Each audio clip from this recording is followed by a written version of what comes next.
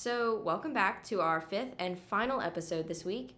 If you're just now tuning in, this week, in honor of Brain Awareness Week, hosted by the University of Tennessee, Knoxville, we are releasing an episode each day with a guest. We will be interviewing someone on a specific topic within neuroscience. So, on our final episode, we have Anna Hodges with us here today. So, Anna, go ahead and tell us a little bit about yourself and what you do. Yes, thank you for having me today. My name is Anna Hodges. I am the Manager of Programs for the Knoxville Office of the Alzheimer's Association, which is the national organization dedicated to care and support for those living with Alzheimer's disease, but most importantly, funding research. Um, we have got an office in just about every major city in the country, um, but of course, here offer care and support locally.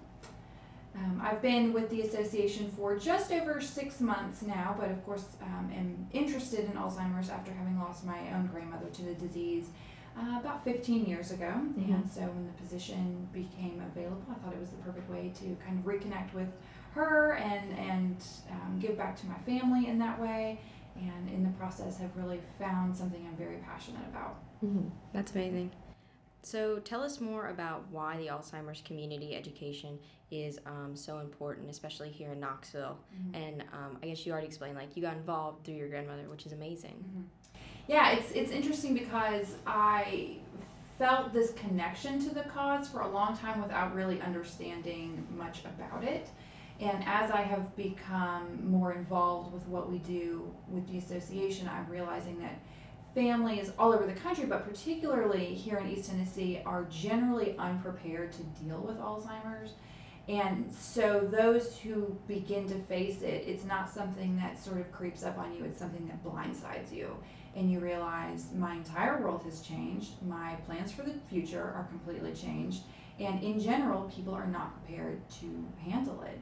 And so it's a disease that we that does not get quite enough um, awareness and we don't talk about it quite as much. So we think of cancer as being this very widely discussed um, condition. And so when someone comes home and they, they say, My loved one has been diagnosed with cancer, we say, What kind of cancer is it? What doctor are you going to? What treatments are you taking? And we're very involved and we put together meal chains and the neighborhood comes together and, and all this. But what we're finding is that people who come home with an Alzheimer's diagnosis find themselves isolated friends and family and neighbors begin retreating because they don't know how to handle this diagnosis. They don't know how to offer care and support. And so the family is, aside from feeling isolated, don't know how to prepare financially, don't know what their options are for long term care, and don't know how to adjust to a new relationship with a person who is changing and changing rapidly and changing in ways that is very difficult to um, process and deal with so like you said uh, some people might not be able to understand like the specific struggles that the individual diagnosed with alzheimer's disease is going through. So can you tell us a little bit more about the struggles that those individuals go through? Absolutely. So the first thing i want to do is clear up some misconceptions about what alzheimer's is. Um, i think it is widely believed that it is a personality disorder or it's a mental illness or it's a psychiatric condition. And in fact it is a physiological change in the brain. So it is an abnormal buildup of proteins um, that cause real problems with neurons in the brain being able to communicate effectively with each other. So when someone is acting out of character, it's not that they're having a psychological episode, it's that their brain is no longer functioning properly. Mm-hmm. And I think it's important to understand that as a concept, first of all, to help eliminate some of the stigma associated with Alzheimer's disease, um, but also to, to help just deal with the the concept that this person is changing. Some of the personality changes that we see, some of the more disturbing symptoms have to do with, with personality changes. So, someone who has been very caring and sweet and kind and loving their whole life may turn into a little bit more difficult person to handle. Someone who mm-hmm. more agitated and fearful, or they become suspicious and paranoid, and maybe they begin to accuse their own family members of stealing from them or causing them some kind of harm. These are the these are the symptoms that are not talked about as frequently with Alzheimer's, um, but can be the most devastating because it mm-hmm. damages that relationship so much. So it's important for someone who is caring for someone with Alzheimer's disease to understand that this these symptoms are not a reflection of the relationship, but mm-hmm. a mm-hmm. symptom of the disease. And that is a really tough thing to understand um, it's, it's one thing for me to sit here and say it, but I certainly know that if my mother were to come home one day and first not recognize me and then accuse me of stealing from her, it would be devastating. Mhm. And having someone say to me, "Don't worry, it's just a symptom of the disease," would not make it easier. right. And so we're not we're not saying don't worry, everything's fine. We're saying understand that this is not a reflection of how that person truly feels or felt about you. This is a reflection of the damage that's going on in their brain. Mm-hmm. Uh, taking it further with Mhm. um, the relationship and family members or um, other caretaker well mostly just family members Mhm. with um, little or no knowledge of alzheimer's like how do they um, fall short on their Mhm. caretaking methods and how do they um, i guess like what strains do you see especially in those relationships This is one of my favorite things to talk about because this is um, the conversations I have with people that I think most commonly elicit those aha moments Mm. With family members who think of Alzheimer's as the second childhood. We hear that expression a lot, which bothers me because when we're raising a child, we are teaching them to prepare for the future. We're teaching them right from wrong. We're teaching them decision making skills. But when we're dealing with someone with Alzheimer's disease, the capacity to learn those things is gone. And so, what I find a lot of times with family members is that they want to teach right from wrong and they want to confront delusions or hallucinations with fact and truth. And that approach is really only going to further exacerbate the problem and agitate the person. So, for example, if someone says to you, I went and saw a movie yesterday, and you know for a fact that they haven't left the house in 18 months, rather than saying, No, you didn't, Dad, you were sitting right here the whole time I watched you, that's Mhm. just going to bother him. It's just going to upset him. You're calling him a liar. Mm-hmm. When if we were to respond to that by saying, "Oh, that's great. What movie did you go see?" That's going to um, lead into a conversation. No, he didn't go see a movie yesterday. We understand that, but we can still engage in a meaningful conversation with him. We can still allow him a platform that makes him feel like a valuable family member. And so one of the things I hear a lot is, "But I don't want to lie. Lying is wrong." Mm-hmm. And so I do a lot of teaching about the therapeutic fib and that it's it's one thing to lie to your spouse or partner in a way that's deceitful or deceptive. That's not the same thing. When we are um, entering into someone else's reality with them to allow them space to feel comfortable, um, that that's a different situation. So we are encouraging someone to share with us whatever it is they're thinking, whether it's true or not because realistically in his mind he did go see a movie yesterday. Mhm. i mean he may be thinking that it is you know 1964 and by god he did go see a movie. And there's no reason to tell him that he's wrong in that moment. It's it's only beneficial for both of us to take it as an opportunity to engage. Mm-hmm. right. So I guess that part um, kind of falls into like the the differences in realities. I guess that um, the caretaker or the family member um, is facing versus the individual with the Alzheimer's diagnosis. Um, so I think you made a really good point about just like uh, it's not really the same as Mhm. lying in a deceitful manner because you're still engaging in a conversation that's still meaningful. Mhm. So One of the things I tell people is to look at it um, as though the person that you love has moved, right? So they're not gone. They're still there. You can still go and visit, but they're no longer living in the same house. And when someone comes to visit us in our house, generally we're going to establish the rules. But the person that we're caring for can no longer come and visit us in our house. We have to be comfortable going to where they are in their home and following their rules. mm-hmm. So if we're going to continue to have that relationship, we've got to understand that what they say goes, Mm-hmm. um, even if it's nonsensical. And certainly we want to do what we can to help keep that person safe. You know, we don't want to allow them to endanger themselves or Right. others. But if they're going to say something that maybe is a little bit silly, it's okay to go along with it. In fact, it's Mhm. the right thing to do. Mm-hmm. Okay. Um, so, what are some of the options uh, for someone diagnosed with Alzheimer's in terms of the caretaker position? So, um, would it be uh, an option to put them in a caring home or like a nursing home or hire a caretaker if uh, there's no one in the immediate family that can um, just kind of like stay home with them or um, just be with them and keep them company? What are some of the options in that aspect? So there's a couple of important points here. Um, the first being that it is imperative that we keep the person with the diagnosis involved in their own care planning for as long as possible. Mm. Um, so that's going to start as soon as there are concerns Um, and as soon as you can get to a point where you can have a conversation about, let's let's start making plans for what we want the future to look like. I highly, highly encourage early on in the process to involve an attorney Mm. to make sure that all legal plans are set in place. Um, you would be amazed how frequently cousins and brothers and sisters from you know years previous suddenly start cropping up as soon as there's a, di- a dementia diagnosis Mhm. mentioned. So that I would I would highly encourage um, legal involvement, but also making sure that the person with the diagnosis is involved in their own care for as long as possible. Um, as things advance, it's very much a personal decision on the on the part of the family and the person with the diagnosis. To what degree are we going to try to keep mom or dad or whoever at home? Um, at what point are we going to be comfortable talking about looking at a care facility? Um, what's important to us uh, in that process?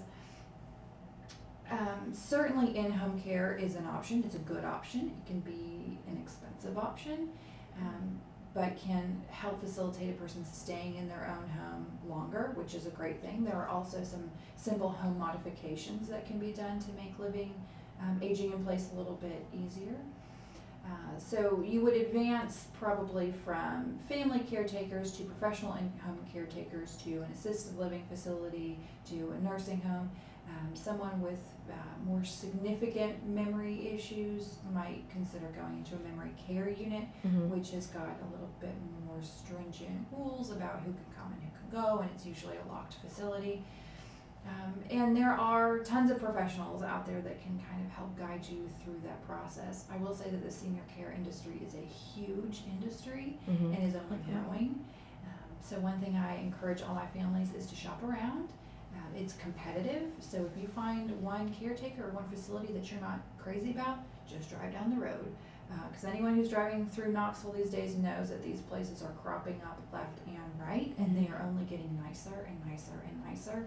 Which leads me into um, another very important point that I think a lot of us at one point or another have had that conversation where we made the promise Mhm. to never ever ever put our loved one in a home right Oh, mom i will never do Mhm. that to you i'll keep you at home as long as i can so help me god i'll never put you in a nursing home and that's a really unfair promise to make Mhm. because people generally say those things with no understanding of what it takes to care for um, a person with a dementia or Alzheimer's diagnosis. It is incredibly strenuous. It is tw- absolutely 24 hours a day, and I mean 24 hours a day. We find that insomnia um, is a really difficult symptom to deal with that can be devastating to the family trying to provide the care. Um, and it can, like I mentioned earlier, it can get very expensive to keep someone at home. And really, what makes sense is to turn care over to professionals, someone who is paid to deal with someone experiencing these symptoms 24 hours a day. And these places are not like they once were, right? So we used to think of nursing homes as being these very cold, sterile, unwelcoming places, and that's just where you sent, you know, Uncle Paul when he got too bad. No one ever one visited him anymore. It's just lonely environment. Um, and that's just simply not the case anymore. I mean, they are getting nicer and nicer. And I'm constantly going to ribbon cuttings and grand openings for some of these senior care facilities that are absolutely gorgeous. Um, and every time I go to one, I try to figure out what the minimum age limit is and where do I go on the list because they're just absolutely stunning. Amazing. And, you know, 24 hour room service and all private rooms and I mean they're just they're they're beautiful. So my, my point is that um, I encourage people to not look at senior care in the same light that we've sort of always thought about it. Mhm. That's amazing. Um, so bringing it, uh, I guess, to campus, Mhm. this um, topic of Alzheimer's. Um, what are some volunteer opportunities that are available to students, or what resources can we um, uh, look into to um, help um, the greater Knoxville community Sure. with this? So in general, volunteer opportunities um, are going to center around um, major events. So our biggest event happens in October, and that's our Walk to End Alzheimer's. It's on October 13th this year. uh, and we're always looking for volunteers to help kind of prepare in the days leading up to, and then of course um, it's a huge event, so on the day of we have a need for a lot of volunteers there. Uh, I am always looking for people to volunteer as support group facilitators, which is would be um, a bit of a responsibility, right? So that's an ongoing um, job we ask someone to take on um, to help people cope with a loved one with Alzheimer's disease. And I absolutely do see that being appropriate um, on UT's campus for a couple of reasons. Mainly that I think there are probably a lot of students here who have a loved one back home struggling with dementia or Alzheimer's disease. I know that when I was in school, um, and my grandmother had Alzheimer's disease, I was very disconnected from it. Mm-hmm. Um, and would have really appreciated being able to get together with um, other people who were in my same situation. Listen, I'm not a primary caretaker, but I have a loved one who's at home. I'm concerned about them. I want to learn more about the disease. I want to learn more about how I can get involved. So I think a support group or any kind of a group that would bring people together um, to, sh- to share in this experience of having a loved one um, with the disease. And it's it's particularly pertinent to me to get the message out to UT students, to, to college students in general, um, because we know that one in three seniors will die with Alzheimer's disease, and that number is only going to grow because baby boomers are turning 65 every 10,000 Yeah. a day, and these are our grandparents, these Mhm. are our parents, and uh, it can be a very lonely thing when you feel like you're the only person. So, are you talking to your friends about if they've experienced any of these symptoms? Because more than likely, one of them, at least one of them, has. And where do they turn for care and support? Mm-hmm. So, I would certainly encourage, um, you know, at least some kind of a group to get together to, to be able to talk about what it's like to deal with these, if not a, if not a support group. Um, we are always on the look for professional help in the office. Right now, we've got more people signed up to intern than I know what to do with, which is a fantastic problem to have. But I would always encourage someone who's interested in getting involved to just contact the office. Um, we have got opportunities for people who enjoy public speaking to go out and give presentations about Alzheimer's disease. Um, so, what I tell people who are interested in volunteering is you tell me what your interests are and what your time frame is, and I will find something for you to do. Uh, because there's there's not enough um, awareness in the community. So Mhm. anyone who can help with that would be more than welcome. Mm-hmm. Oh, that's awesome. Um, so yeah, you mentioned that you are um, working with, uh, like, directly with like one of the chapters with the Alzheimer's Association. Uh, correct. Yes, so I am. We are part of the Knoxville office. Uh-huh. And the Knoxville office is part of the Mid South chapter, Okay. which encompasses all of Tennessee, all of the offices in Tennessee. Okay. Mhm. So uh, if someone wanted to work uh, with a nonprofit group or do um, delegation facilitation work similar to how um, you are involved with, um, what what steps would they have to take to be directly involved with this? Like any sort of degree qualifications, uh, any specific experiences, all that sort of stuff. Um, in terms of like um, formal employment, Yes.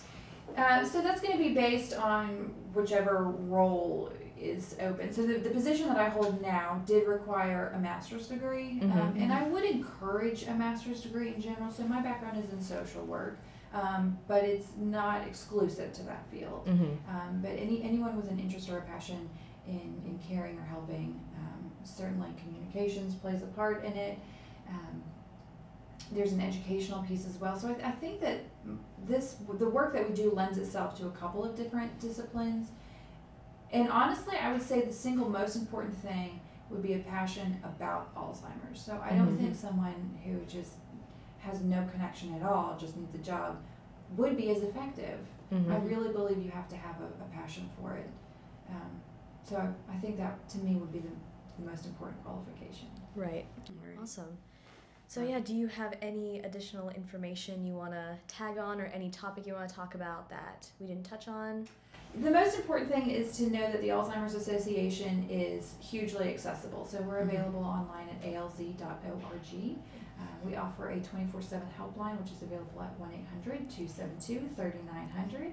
Um, so someone's going to answer that line 24 hours a day, 365 days a year, um, and that will be a master's level trained clinician who's an expert in Alzheimer's disease um, and other forms of dementia as well. Mm-hmm. So we offer a number of other services, including care consultations. So that's going to be an opportunity for family members to come into the office, sit down and talk with me one on one, to do some resource navigation. Okay, here's a situation that we're in. What are my next steps? It can be a very overwhelming time Mm-hmm. um, when you're newly diagnosed. So that's an opportunity to kind of come in and, and come up with a game plan. Mm-hmm. So I think peer consultations are very important. We also offer um, educational programming. So anyone who has got a civic group, church group, school group, any group, a bowling league, any group of people that will sit down long enough to listen to me talk. Um, we have a number of different presentations that we offer, including the basics of Alzheimer's, the 10 warning signs of Alzheimer's, um, how to live to um, promote a healthy brain, um, how to be an effective caregiver. We've got a three part series on, on caregiving Mm-hmm. um, as a family member. So educational programming is a big piece of what we do. We offer a program called Trial Match, which is also available through our website, which is alz.gov. I'm sorry, alz.org. And that um, Trial Match is a database that houses all of the clinical trials that are being conducted across the country and internationally as well that are targeting Alzheimer's research.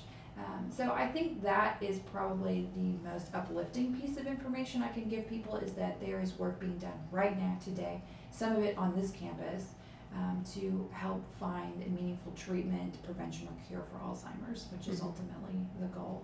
We have got some advocacy work that we do, which would be a great opportunity for volunteers to get involved with as well. Mm-hmm. Um, so we have a sister organization called AIM, which is a 50C4, I believe.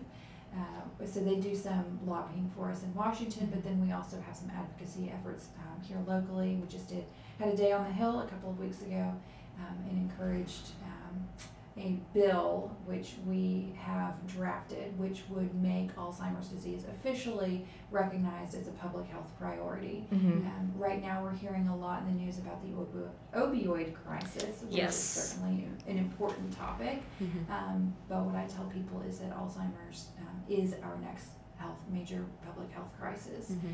Um, and generally, what I say to people is that if you don't know someone who's affected by Alzheimer's now, you will soon. Mm-hmm. Uh, and I don't mean to sound um, morbid about it. I don't mean to be super depressing, right? Because there are lots of opportunities to get involved and make a difference. Um, but it is important for people to understand now that this is coming. There is a tsunami on its way, and it is about to hit. Um, All right, that's good. Well, thank you so much for all of that information, all of the resources. Um, if you're looking to get involved in Alzheimer's at all, please visit any of the above website or any of the websites that were said right before. So that concludes our series of episodes for Brain Awareness Campaign, and a big thank you to Anna Hodges for coming and talking to us about this. thank you for having me. Yes, awesome. So, if you're interested in learning more about the Brain Awareness Campaign, be sure to visit the brainawareness.utk.edu website for all the details, and thank you for tuning in.